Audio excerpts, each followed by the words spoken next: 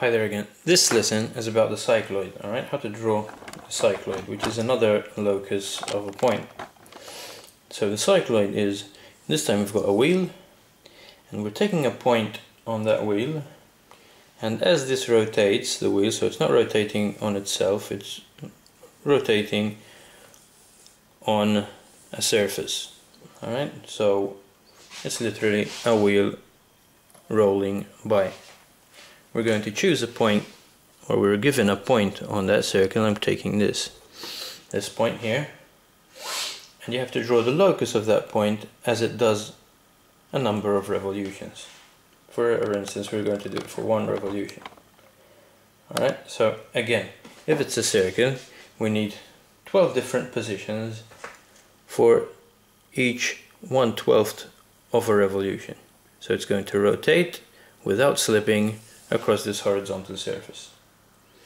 So the method is this. It's as if we're going to take a snapshot 12 times as it does one revolution. I'm going to take the distance of 1 12th. I've already divided the circle into 12. And from those 12 divisions I've taken these 12 horizontal lines to show the position of each point for 1 12th of a revolution. I'm taking the distance of 1 12th of a division from the circumference and I'm going to mark off the distance 12 times on the horizontal line. That would represent the distance it's going to roll after 12 revolutions. Because after one revol sorry after one revolution because after one revolution it's going to rotate as long as its circumference. So from the center I'm taking these 12 divisions, which is going to represent the length of its circumference.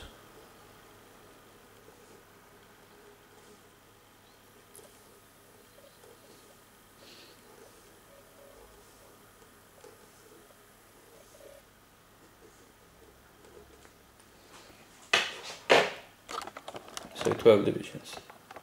I'm taking them from the center straight away because that's where I want to mark off with because the 12 revolution the 12 divisions the one revolution the length of its circumference should have been measured on the surface. But then I'm going to take them up to the center. So if I started off at this point here that's my point one and it has a center here. So that's number one as well. When, I, when the center gets to point 2, the point will no longer be in this position, but it will be in that position, since I've got a clockwise rotation. When the center gets to 3, the point would be up here. The center gets to 4, the point will be up here, and so on. So these numbers, the middle numbers, are taken from 1 to 12 and then you get another one where you started off with. So started from 1 and ended at 1 and clockwise rotation around the circle. I'm going to continue the numbers. Don't draw them this big or this dark. When you're drawing a question on the cycloid. Now, I'm going to represent a circle on each of those centers. Right, and each time the point is going to shift up one twelfth of the circle. So I'm taking the radius of the circle and I'm going to draw it again on center 2. Now in fact you don't have to draw the whole circle because you were only interested where that point is and that point is up to where the 2 has become so that's my first point of the cycloid so so far the point has risen from there to there I'm taking center 3 with the same radius of the circle and this time the circle the point is marked where you have the line coming out from the 3. You could draw the whole circle to represent the wheel, but we're only interested in that point. And you keep on going. The 4 from the center 4 to where I've got 4 marked. Center 5 to where the 5 is. Center 6 to where the 6 is. And center 7 you can see when it's half a revolution the point is going to be vertically upwards. You can't mark that with a compass because it's directly above it, it's parallel to the arc. So that's half the cycloid. I'm going to draw it in so start realizing what the shape should be. The other half should be a mirror image of that, a reflection of that. Now you can see that where I marked number 5, this is 0.5. If you join that with an arc, with a line, you see that you get a same line as the line joining the center and the 5. If you join the 6 with its point, you see you get the same point as the 6 from that point. So you don't have to draw these, but just to show you that this line is parallel to the 6th line. Now I'm, I'm telling you this because here we often get a common mistake when drawing the number 8 not specifically num because it's number 8 because I'm coming down from this point here. And you tend you tend to after number 7 you go to number 8 and you look at number 8 and you mark on this side instead of that side. It's a very common mistake. But you have to see that the point 8 from the circle is in this direction. So that should be the case also from point 8 when it gets here. So we're marking on this side. Alright, remember this is a clockwise rotation and we're marking on that side. If you rotate on this side, if you mark on that side, that would mean that it has started to rotate in the opposite direction. So that's point 7, point 8, in I used 0.7 there instead so 0.8 should be there. My previous point. 0.9 9 10 is in the middle. 11 is down there. 12 is down there. And number 1 as I did with number 7 should be exactly beneath number 1 So, so you get a symmetrical shape for the cycloid. And you could and you should remember that shape when you're starting it off because that's the result you want.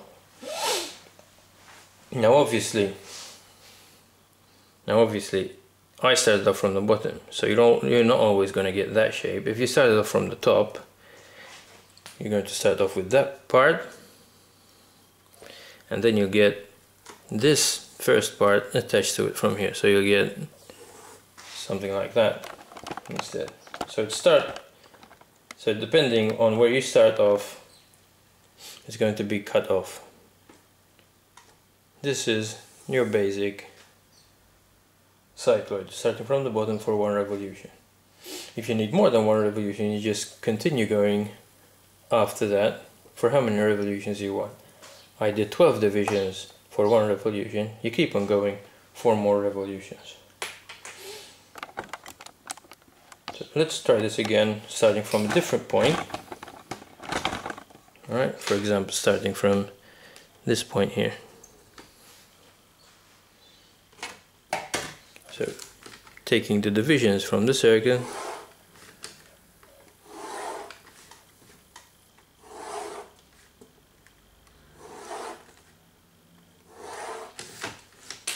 open the compass as wide as one of the divisions.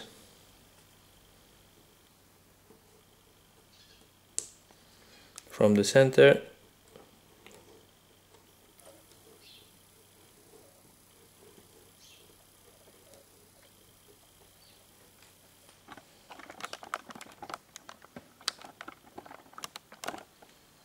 Those are six divisions.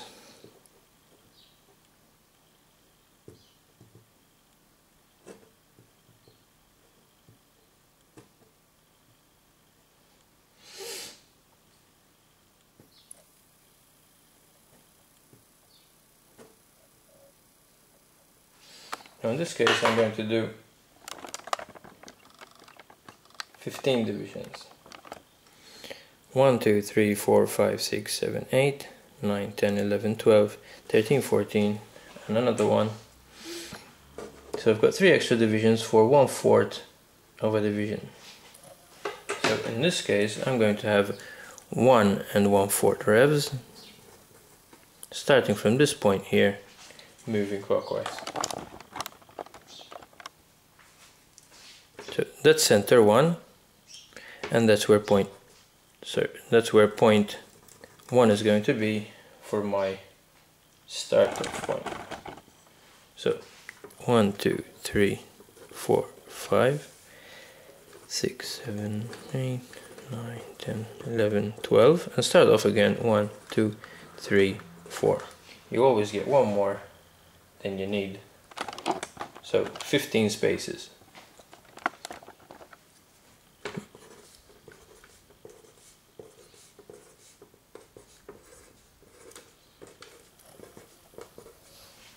Right, so 12 around the circle and 15 on the line. So open the compass as wide as the circle and this is my point 1. Point 2 is here and point 2 is at that position. Point 3 is here, point 3 is up there. Point 4 should be straight up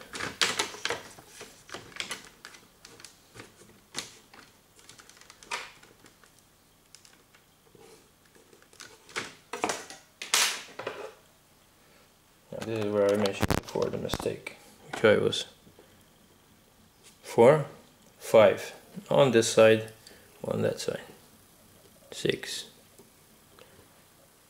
7 on the horizontal line 8 down here 9 down here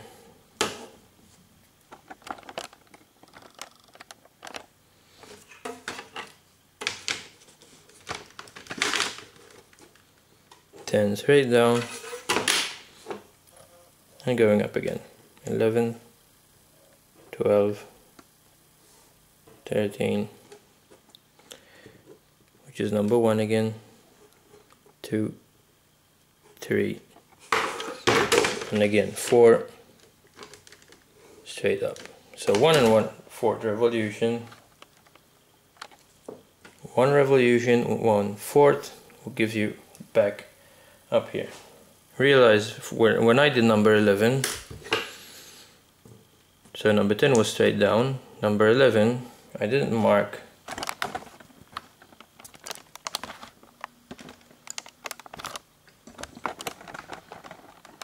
For number 11 I didn't mark on this side of number 11 I marked on that side of number 11 because number 11 is that way so what I need to do now is draw in the curve.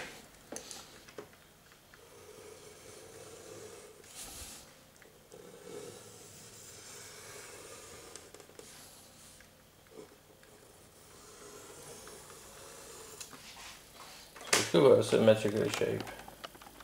At this time, that part